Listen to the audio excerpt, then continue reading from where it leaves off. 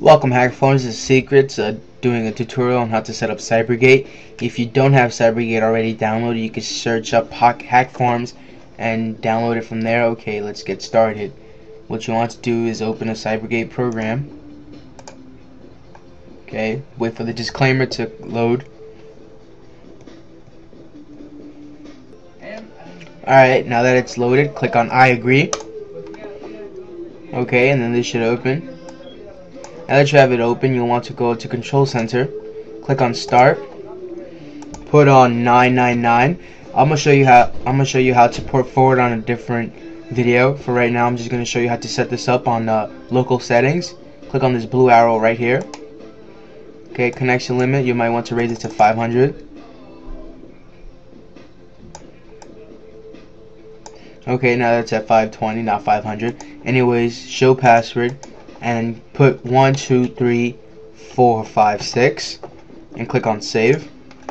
Now, hmm. Alright, since I already did this, I'll just show you how to create the server.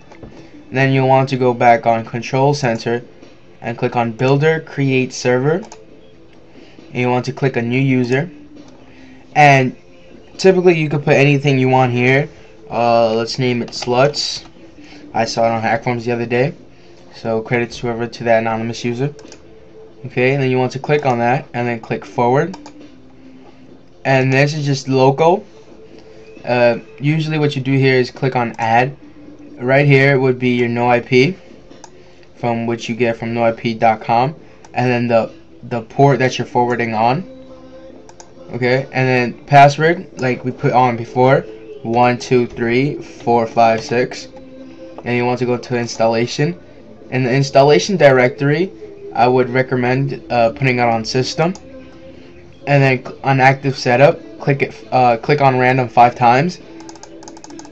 Uh, on mutex once again five times.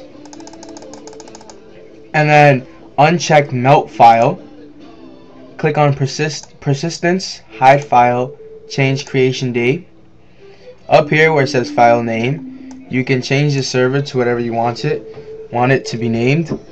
Uh, but I'm gonna just leave it like that because I I don't want to change it.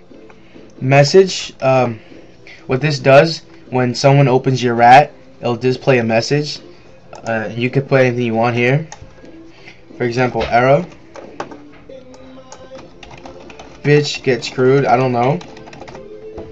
Okay and then test and this is what you get okay? And then the keylogger if you don't have an FTP you can just leave it alone and it'll create uh, WordPad files on your uh, file where your Cybergate is located under uh, documents. So you can access that later. Anti-debug. You want to make sure everything is checked unless you're going to run sandboxy to test your server. But until then uh, click on check all. And then you want to go over to create server compress with UPX just makes your file smaller. Uh, if you want to press, if you want that, then you could just click that. Bind files, I really wouldn't recommend it, as it'll, well, I mean, it won't really FUD it, so you could just use your own binder. Delayed ex execution, what it really does is if you click on it, it delays how many seconds uh, after the person must wait for it to open. You might want to leave it at zero so you can it, be, it could be quicker and then you'll want to click on create server. Okay and then just save it. Uh, you can name it anything you want. I'm gonna leave it at server. I'm gonna save it. And click on yes. Okay and then you want to uh, travel to your uh, Cybergate folder and see how I have server here. I'm gonna run it. And I'm gonna start my server. And I, and you should you should be there. I get some errors because I don't have anything. See how I just popped up twice? And it should work. If you if it doesn't, then just message me and I'll see what I can do for you. Troubleshoot some things and see what's wrong. Until then, watch out for my next video on how to port forward it. So stay tuned. See you, Hackforms.